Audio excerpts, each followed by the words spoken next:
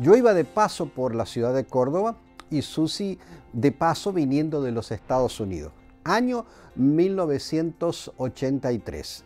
Se cruzaron nuestros caminos y tenemos cuarenta y pico de años de casados.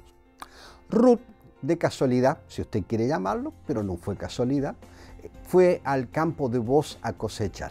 Allí se cruzaron los caminos y una historia de amor también comenzó.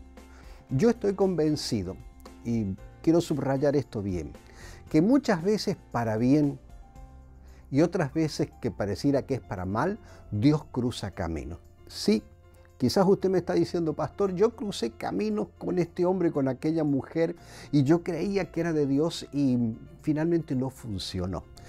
Es muy probable que ese tiempo en que te cruzaste con esa persona, Dios te usó para darle una oportunidad que nunca jamás hubiese tenido. Y Dios sabía que tú ibas a poder soportar ese golpe. Dios cruza los caminos para bendecirlos de alguna manera y Dios cruza los caminos para que sus hijos también puedan llegar a bendecir a otros.